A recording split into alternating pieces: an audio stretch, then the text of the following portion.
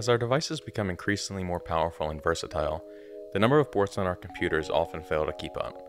If you're someone who needs to connect multiple devices to your computer at a time, a USB C hub can be a lifesaver. Today, we'll be talking about a specific 4 port USB C hub from Minisopuru, who was kind enough to sponsor this video and send me out one of these little guys for a quick review. So let's jump in and see what this hub can do.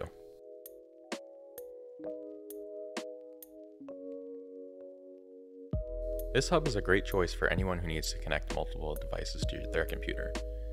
With four ports, you'll have plenty of space to connect all of your accessories, peripherals, and other devices that you may use on a daily basis. This hub is compatible with most USB-C devices, so you can use it with a wide range of accessories ranging from simple mouse and keyboard to even an external hard drive. Let's take a closer look at some of the main features. First and foremost, it has four USB-C ports. This means that you can connect up to four different devices to your computer simultaneously. USB-C is a versatile port that can be used for a variety of purposes, from data transfer to charging, and some hubs even support video output. Unfortunately, this one does not support video output at this time, but it's been absolutely perfect for everything else that I've thrown at it.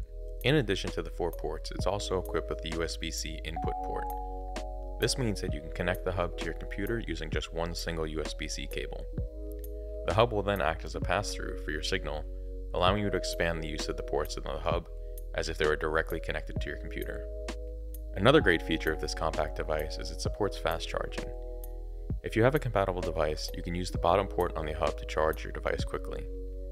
The hub supports up to 20 watts of power delivery, which means that you can charge your phone, headphones, or even a tablet. This is a great feature if you're someone who frequently forgets to charge your devices or is always on the go and battery life is a constant struggle.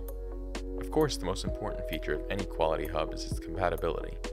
After all, no sense in purchasing a hub to find out it won't work for your current setup. This hub is compatible with a wide range of devices, including MacBook Pros, MacBook Airs, iPad Pros, iPads, Chromebooks, and more. That means that this is compatible with a variety of operating systems as well, including Mac OS, Windows, and Chrome OS. This makes it a versatile hub that you can use with almost any device.